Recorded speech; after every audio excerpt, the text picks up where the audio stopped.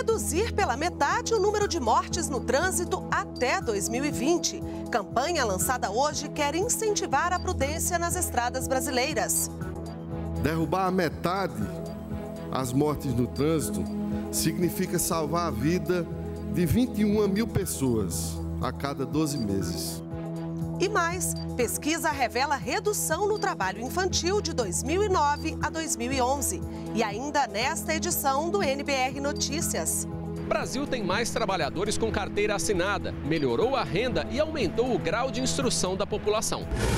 Mutirões de cirurgias ortopédicas são realizadas em quatro estados. Mutirões tentam reduzir as filas e o tempo de espera para cirurgias ortopédicas em todo o país. O NBR Notícias começa agora.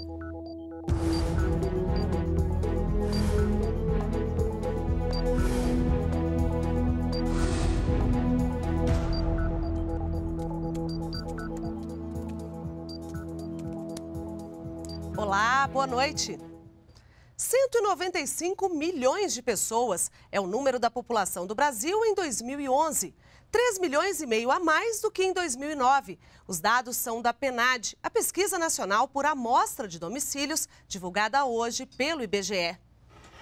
A pesquisa mostra também que mais de um milhão de pessoas entraram no mercado de trabalho e que o rendimento médio mensal do trabalhador brasileiro cresceu de 2009 para 2011. O trabalho como diarista e a pensão alimentícia nem sempre são suficientes para atender às necessidades das três filhas. No ano passado, a dona de casa Maria Zélia começou a receber o Bolsa Família e conta que hoje consegue garantir a alimentação das meninas. Dá para me comprar gás, fruta para as crianças, é... dá para me comprar arroz, né, feijão, dá para comprar leite também. Maria Zélia está no grupo de brasileiros que tiveram aumento de renda. A pesquisa nacional por amostra de domicílio divulgada nesta sexta-feira pelo IBGE mostra que o rendimento médio das pessoas com 10 anos de idade ou mais cresceu 8,3% entre 2009 e 2011 e passou de R$ 1.240 para 1.340 reais. E a renda aumentou mais para os 10% de trabalhadores que ganham menos. Para eles, o aumento médio foi de quase 30%.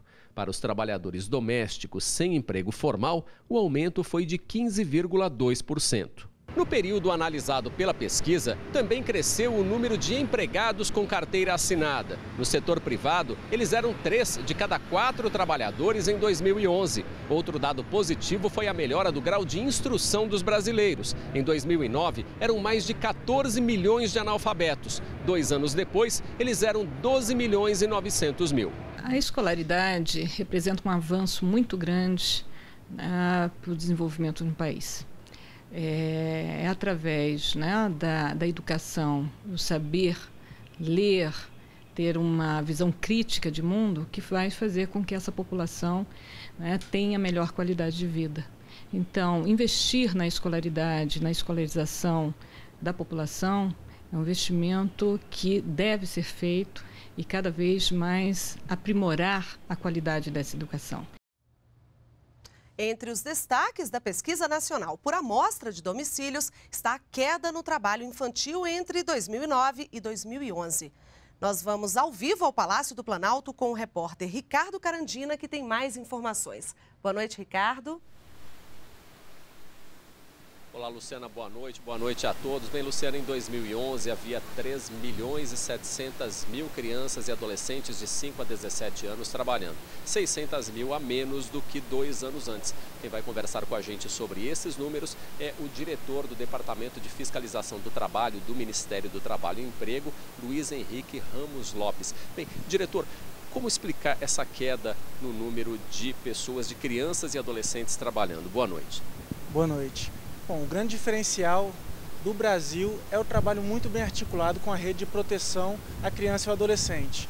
Então, se o trabalho infantil é um problema social de múltiplas causas, não adianta somente uma pasta ir até essa criança ou adolescente e resolver o problema da fiscalização do trabalho, por exemplo, e sacar essa criança da situação irregular. É necessário que todo o aparato do Estado vá até essa criança, até esse adolescente e resolva todos os problemas que levaram ele àquela situação. E é isso que o Brasil tem feito nessas últimas duas décadas, onde tem demonstrado todos esses resultados muito favoráveis à erradicação do trabalho infantil. Agora, apesar da diminuição, a gente ainda tem aí 3 milhões e 700 mil crianças, ou pelo menos no ano passado havia esse número de crianças e adolescentes trabalhando. O que fazer para reduzir ainda mais esses números? É, se a gente pegar o número absoluto, a gente ainda vê que é um número que ainda preocupa. É uma taxa de ocupação de 8,6% de crianças nessa situação preocupante, alarmante. Então, o que o Brasil tem feito e tem sido referência mundial nesse, nessa temática é continuar fazendo esse trabalho articulado. Então, o Brasil tem demonstrado, tem ido a campo, tem feito muitas fiscalizações de trabalho, tem o MDS tem um programa de erradicação do trabalho infantil, a gente tem instalado escolas em tempo integral. A fiscalização do trabalho ano passado fez mais de 10 mil fiscalizações. Este ano tem a meta também de fazer 10 mil ações fiscais. Então a gente tem ido muito mais a campo para fazer esse trabalho. Não é apenas um trabalho repressivo, mas um trabalho de conscientização, sensibilização e a gente chega à criança e tenta procurar to sanar todos os problemas que levaram ela à situação irregular de trabalho. Explicar, por exemplo, aos pais que essa situação é que é melhor a criança estar na escola do que trabalhando. Cara, a, essa cultura ainda existe no Brasil, é comum, não é uma coisa rara de se encontrar. A gente quando vai pro, pro não somente na, na, agricultura, mas nos centros urbanos, a gente tem muito essa cultura, como se a criança só tivesse a opção de ou estar trabalhando ou estar, só estar roubando no crime. Não, o lugar da criança é na escola, o lugar da criança é no, no seio familiar, é estar com seus pais aprendendo, sendo, tendo seu momento de criança, né? Também agradeço então aqui ao diretor do Departamento de Fiscalização do Trabalho do Ministério do Trabalho e Emprego. E lembrando, Luciana, que trabalho infantil, trabalho para crianças de até 14 anos é proibido, de 14 a 16 anos só como aprendiz. Luciana. Obrigada, Ricardo. As mudanças no clima e as metas para a diminuição dos gases do efeito estufa foram tema de um encontro que reuniu aqui em Brasília Brasil, África do Sul, Índia e China. Foi a 12ª reunião do Grupo BASIC, formado por Brasil, China, África do Sul e Índia, para debater propostas relacionadas às mudanças climáticas. O Brasil foi representado pelo ministro das Relações Exteriores, Antônio Patriota, e pela ministra do Meio Ambiente, Isabela Teixeira. O encontro serviu de preparação para a próxima conferência sobre mudança do clima, que será em Doha, no Catar, ainda este ano. A ministra do Meio Ambiente defendeu a segunda etapa do Protocolo de Quioto, que estabelece as metas de redução de emissões de gás de efeito estufa. Isso é, é certamente um desafio para Doha. Concluir, e talvez seja um, um maior legado, na minha opinião, é, é, o maior legado de Doha é assegurar o segundo período de compromisso de Quioto e assegurar com isso é, caminhos também mais objetivos para a negociação da plataforma Durban, que, como os senhores sabem, deve remeter a uma novo, uma novo acordo global após 2020. Brasil quer reduzir pela metade o número de mortes no trânsito até 2020. Uma campanha lançada hoje vai conscientizar o motorista para os riscos de dirigir em alta velocidade. Em 2010, mais de 42 mil pessoas morreram em consequência de acidentes de trânsito no país. E, segundo o Ministério da Saúde, o número de vítimas com lesões permanentes e temporárias é ainda maior. Há dois anos, o SUS registrou 146 mil internações de vítimas de acidentes de trânsito, um gasto de cerca de 200 milhões de reais com os primeiros atendimentos. Com o objetivo de reduzir pela metade o número de mortes no trânsito até 2020, o Ministério das Cidades lançou nesta sexta-feira, aqui no Palácio do Planalto, uma campanha nacional de mobilização, como parte da Semana Nacional do Trânsito, que neste ano tem como tema Não exceda a velocidade, preserve a vida. Derrubar a metade as mortes no trânsito significa salvar a vida de 21 mil pessoas a cada 12 meses. Esse enorme contingente poderia significar para o nosso país poder contar com mais 21 mil médicos, 21 mil operários, 21 mil engenheiros, 21 mil advogados, 21 mil poetas, 21 mil famílias dilaceradas pela dor. E o ex-piloto do automobilismo, Emerson Fittipaldi, é a estrela da campanha, que tem como ideia conscientizar motoristas para mudanças de hábito. Consciência é a palavra-chave para melhorar a segurança de trânsito no Brasil. A campanha nacional tem como foco jovens brasileiros de 18 a 25 anos e chega para reativar o Pacto Nacional pela Redução de Acidentes, chamado de Parada. Atletas e artistas aderiram à mobilização. Acho que é um grande pacto, uma grande campanha.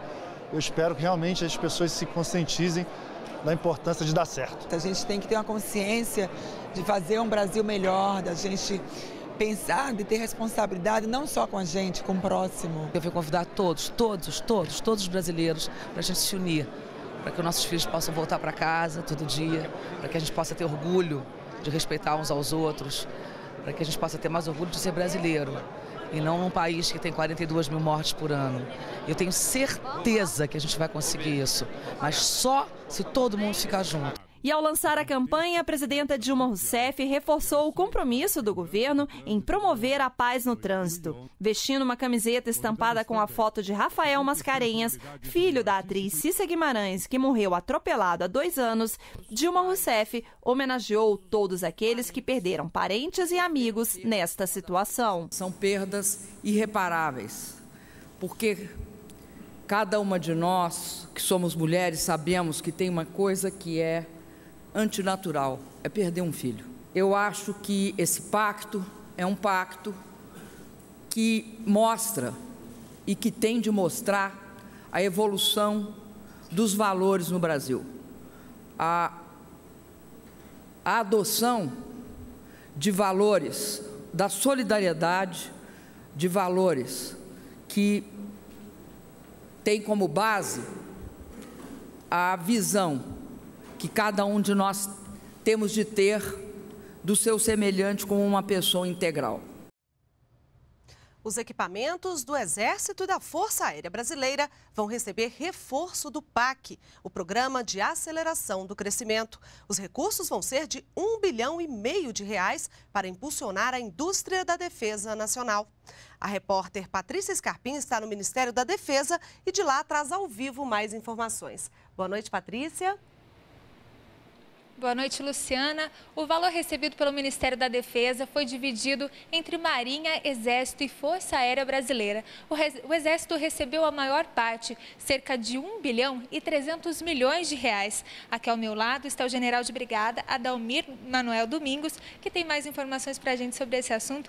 Boa noite, general. Fala para a gente que melhorias que o PAC Equipamentos trouxe para o Exército Brasileiro. Boa noite, Patrícia. É, desses recursos 320 milhões nós estamos adquirindo 40 blindados Guarani de fabricação nacional, 30 viaturas lançadoras de foguete, a também de fabricação nacional, e adquiriremos cerca de 3.500 caminhões militares, junto também à indústria nacional. Esses veículos vão ajudar sobremaneira na nossa operacionalidade, no completamento e na renovação da nossa frota. E de que forma esses equipamentos vão auxiliar no trabalho do Exército em regiões afetadas pelos desastres ou as calamidades?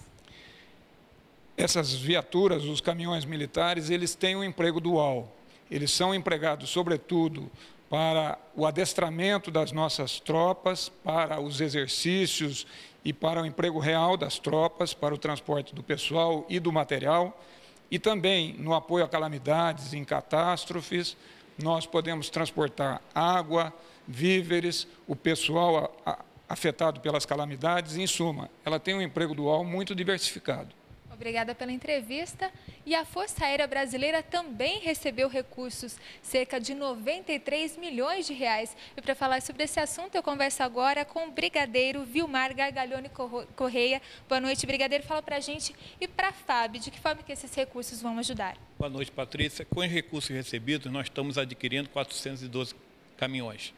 Esses, essas viaturas serão importantes para um aumento considerável de nossa capacidade de transporte logístico, bem como aumentar, o, o, o, ter um ganho na mobilidade da Força Aérea Brasileira, que é uma das características fundamentais das Forças Armadas. E na prática, o senhor tem algum exemplo para citar para a gente de que forma que esses caminhões vão ajudar tanto vocês quanto a população? Todos os anos, o Ministério da Defesa é chamado a colaborar com a população no caso dos desastres naturais. Os nossos hospitais de campanha, que estão sempre atuando nessas ocasiões, são transportados 100% por caminhões. E também quando nós temos operações militares fora de nossas sedes, nossas bases aéreas, todo o transporte de equipamento e material é feito por caminhões. Para ter um exemplo, em setembro do ano passado, por, por ocasião da Operação Agatha 2, nossos caminhões percorreram 54 mil quilômetros. Obrigada pela entrevista. Luciana. Obrigada, Patrícia. Foi criado hoje um fundo de previdência complementar do servidor público. O chamado FUNPRESP vai administrar planos de benefícios para complementar a aposentadorias e pensões de funcionários do Executivo, Legislativo e também para os servidores do Tribunal de Contas da União. Com o novo fundo que começa a operar a partir de fevereiro do ano que vem, os beneficiados vão ter os custos repartidos com o governo. Vão ser liberados 24 milhões e meio de reais a estados e municípios para ampliar o fornecimento de próteses, órteses para pessoas com deficiência. O anúncio da liberação do recurso foi feita hoje, no Dia Nacional de Luta das Pessoas com Deficiência. Voltamos agora a falar com o repórter Ricardo Carandina, que tem mais informações sobre as ações voltadas para esse público. Olá, Ricardo. Nós vamos conversar agora com Antônio José Ferreira, que é secretário nacional de promoção dos direitos da pessoa com deficiência. Bem, secretário, esses recursos, é, essa liberação a partir de segunda-feira é mais uma conquista para ser comemorada nesses 30 anos de Dia Nacional da Pessoa com Deficiência. Boa noite. Boa noite. Na verdade, é uma ação do Plano Viver Sem Limite. Quando o Ministério da Saúde tem suas ações no Plano Viver Sem Limite, ele coloca justamente esses recursos para que possamos é, fornecer órteses e próteses com maior qualidade e esse recurso vem justamente para fazer o suplemento para a concessão agora de cadeiras de rodas motorizadas. Então é uma ação do Plano Viver Sem Limite e estão dentro das muitas ações que a gente comemora hoje, 21 de setembro, Dia Nacional de Luta das Pessoas com Deficiência. Era, era, justamente esse o próximo ponto. Quer dizer, hoje são 30 anos de comemoração desse dia. O que, é que se tem para comemorar? Quer dizer, quais foram as principais conquistas das pessoas com deficiência nesses últimos 30 anos, secretário? Começa com a organização do movimento, depois, depois nós temos as conquistas na Constituição de 88 podemos comemorar também a Convenção Internacional sobre os Direitos das Pessoas com Deficiência, uma grande legislação que temos no Brasil e agora, por último, o tema está na pauta do governo com o Plano Viver Sem Limites, 7 bilhões de meios de investimento até 2014 e todo o governo trabalhando para melhorar a vida dos 45 milhões de brasileiros e brasileiras com algum tipo de deficiência. O plano deve melhorar a acessibilidade, secretário? Nós temos investimentos para acessibilidade com vistas à Copa do Mundo, à Olimpíada e Paralimpíada Olimpíada 2016 e acreditamos que vamos ter melhores condições para as pessoas com deficiência quando terminarmos o governo com todos os investimentos implementados. Ótimo, agradeço então ao secretário nacional de promoção dos direitos da pessoa com deficiência. Lembrando que a Infraero fez hoje uma campanha de conscientização nos estacionamentos dos aeroportos, lembrando aos motoristas que as vagas destinadas às pessoas com deficiência devem ser usadas exclusivamente por pessoas com deficiência. Luciana. Obrigada, Ricardo. Para melhorar o atendimento em hospitais brasileiros, está sendo implantado um sistema para auxiliar na formulação e execução das políticas públicas. Foi o que disse hoje a ministra-chefe da Casa Civil, Gleisi Hoffmann, no programa de rádio Bom Dia, Ministro. São 40 hospitais que nós vamos trabalhar até 2014. Nós temos esses hospitais monitorados, saber por que, que eles demoram para atender nos seus prontos-socorros, fazer ampliação desses hospitais, porque consiste nisso o programa. Nós fizemos o diagnóstico, vimos que muitos hospitais têm falta de leitos porque não têm os leitos de retaguarda, ou seja, é, fica só no leito do pronto-socorro. Então, nós estamos construindo anexos nesses hospitais para aumentar leito. Estamos vendo onde é que tem unidades de pronto atendimento para ser a referência desses hospitais, estamos melhorando o índice de atendimento, deixando menos tempo o paciente esperando, não é, querendo tirar é, que paciente fique em maca no corredor, fique sentado em cadeira. Enfim, então é um esforço do governo, do Ministério da Saúde, dos gestores para melhorar esse atendimento. A ministra explicou ainda que diariamente é feito um diagnóstico de como está o atendimento nos hospitais. De acordo com ela, o governo vem repassando recursos para que os hospitais melhorem as condições de trabalho dos profissionais da saúde e quer verificar se de fato está melhorando a vida de quem precisa de atendimento público. As cirurgias ortopédicas estão entre as mais procuradas no SUS. No ano passado, o número de procedimentos cresceu 114%. E para tentar reduzir as filas e o tempo de espera nos hospitais, vários mutirões vão ser feitos em todo o país. E o trabalho já começou. Há pouco mais de um ano, a aposentada Maria do Socorro começou a sentir dores no quadril. Ela procurou ajuda médica e, enquanto a cirurgia não chegava, começou a usar uma bengala numa tentativa de reduzir a dor. Nesta semana, ela fez a cirurgia pelo SUS e não vê a hora de abandonar o equipamento. No mês eu já quero abandonar tudo. Já quero estar tá, tá livre de tudo. A cirurgia da moradora do Distrito Federal só se tornou realidade porque existe um recurso para procedimentos de média e alta complexidade. Neste ano, o Ministério da Saúde repassou 650 milhões de reais a estados e municípios. A maior parte deste valor, 420 milhões de reais, foi direcionada a cirurgias ortopédicas e outros procedimentos. As cirurgias ortopédicas estão entre as mais procuradas no SUS e a demanda está relacionada ao aumento de acidentes no trânsito. Em 2010, foram mais de 145 mil internações e mais de 40 mil óbitos decorrentes de acidentes nas ruas e estradas do país. Só no ano de 2011, na, no primeiro atendimento, na primeira internação, foram investidos 200 milhões de reais pelo Sistema Único de Saúde decorrentes das situações de acidente de carro e de moto. Para tentar reduzir as filas e o tempo de espera, o Ministério da Saúde começou uma série de mutirões de cirurgias ortopédicas pelo país. As cidades de Curitiba, Porto Velho, São Paulo e Paraíba do Sul, no Rio de Janeiro, realizaram as ações esta semana.